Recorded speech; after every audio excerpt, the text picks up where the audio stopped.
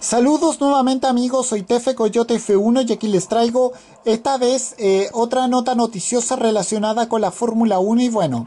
como sabemos la curva número 10 del circuito de Montmeló o circuito de Cataluña o circuito de Barcelona como quieran decirle, ya está tomando forma. Y bueno, como sabemos el, ex Fórmula 1 Pedro Martínez de la Rosa que es eh, oriundo de, de Barcelona,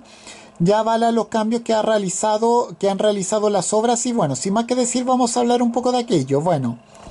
luego de dos semanas de que comenzaran las obras de remodelación de la,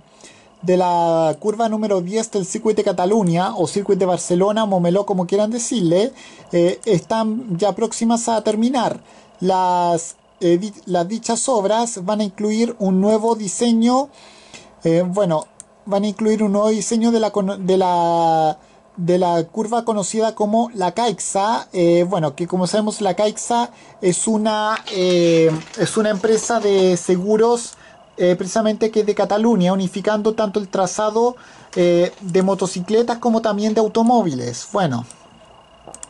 una curva más redonda que la que su otra versión, donde se le, se le, se le se ganó metro de la escapatoria, la cual será mixta tanto de asfalto como de grava, mejorando la seguridad en una zona crítica porque se trata de una frenada fuerte luego de un periodo recta en pendiente negativa. Bueno, Momeló eh, se esperaba estrenar este nuevo trazado probado tanto por la eh, FIM como también por la FIA los test de la pretemporada de, Fórmula 1. Sin embargo, esto finalmente solamente van a tener como sede oficial eh, eh, solamente Bahrein va a estar como la sede oficial de los test de pretemporada este 2021 eh, y no en Barcelona y habrá y, y, habrá que esperar hasta el Gran Premio España que será para el próximo día 9 de mayo lo que será la cuarta eh, competencia de esta nueva temporada. Las motos tienen programada su,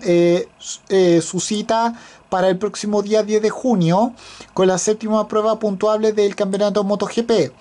Como sabemos, Pedro Martínez de la Rosa presenció las obras en primera persona,